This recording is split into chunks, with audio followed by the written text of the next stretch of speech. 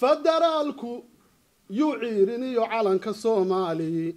Caasimada xamar dowladana cudud ku taageeraa xaflad aad u ballaaran oo lagu soo gootinayay wasiirka wasaaradda waxbarashada puntland mudane cabdulaahi maxamed xasan ayaa lagu qabtay habeenkii xalay ahaa iskuulka international ee dhaca bartamaha magaalada minneabolis gobolka minnesota ee dalka maraykanka xafladdaas ayaa waxaa soo abaabulay maamulka iskuulka waxaana ka soo qaybgalay qaar ka mid a jaaliyadda soomaaliyeed gaar ahaan bahda waxbarashada gobolka iyagoo duca iyo dardaaran isugu daray wasiirka.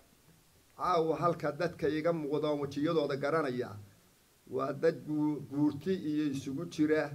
Weliba khusuusan bahdii waxbarashaduna meeshay aada uga muuqataa doonayaana inay ku taageeraan kulana shaqeeyaan. Xaggaa iyo xaggaba insha allahu cabdulaahi wuxuu nasiib u yeeshay in loo magacaabo oo loo idmado howl aada u adag oo ah inuu hogaamiyo waxbarashada mid hoose mid dhexe iyo mid sare. Oo ay ku jirto higher educationka puntland. Puntland ha ogaato. Ama soomaaliya. Ha ogaadeen. Macalimiinta aan u soo dirayno inaan weli u baahannahay kama anaan dhargin waxaan u baahannahay inay noo ilaaliyaan oo noo xifdiyaan ilaah baa mahad iskale laakiin anu mahadnaqo international schools iyo ubax medical academy. Dad ka shaqeeya mar kasta waxay heegan u yihiin iyo dhammaanba waxbarashada minnesota. Waxayna naga dhexeeya waxa inaan ubadka u shaqeyno.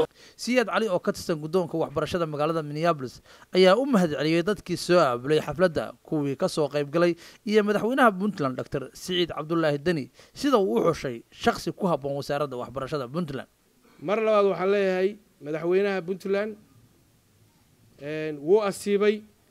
Cabdulaahina wasiir cabdulaahina waa yahay qofkii aqoonta lahaa ammaanadaas lahaa. Wasiirka wasaaradda waxbarashada puntland mudane cabdulaahi maxamed xasan ayaa jaaliyadda gobolka ka ballan qaaday inuu ka mid noqon doono macalimiinta wax ka dhiga puntland isagoo ka codsaday bahda waxbarashada gobolka minnesota in wakhtiyada fasaxa yimaadaan dalka waxna ku soo kordhiyaan. Waxaa laga yaabaa mararka qaarkood inaad arki doontaan aniga oo kalaasyada ku jira oo dad xiisadaha qaarkood bixinaya inaad arki doontaan baan jecelahay insha allah inaan collegeska iyo jaamacadaha iyo high schoolska puntland qaarkood aad igu aragtaan aniga oo macallinka ah oo wax ka dhigaya insha allah rag badan oo halka ila joogana waxaan rabaa waktigooda firaaqada ay yihiin inay ka faa'iideeyaan oo noo yimaadaan oo na soo boqdaan oo teacher trainingka wax naga siiyaan. Xakiin cabdi ismaaciil warbaahinta qaranka minnesota maraykanka